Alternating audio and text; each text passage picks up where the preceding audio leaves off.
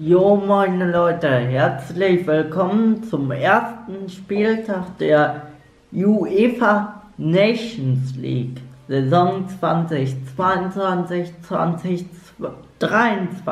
Teil 1 von Teil 3. Los geht's! Heute um 18 Uhr. Georgien gewinnt knapp gegen Gibraltar 4 zu 3. Und um 20 Uhr 45 Nordirland gewinnt gegen Griechenland 1 zu 0. Tschechien verliert gegen Schweiz 0 zu 2. Zypern unterliegt den Kosovo mit 0 zu 1. Dann Spanien verliert gegen Portugal 0 zu 4.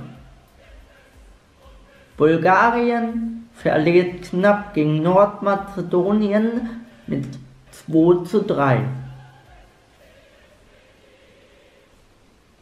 Dann Isra Israel unterliegt Island mit 1 zu 5.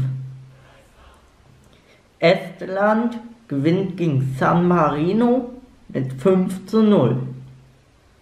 Serbien unterliegt Norwegen 1 zu 3 und Slowenien verliert gegen Schweden mit 0 zu 4.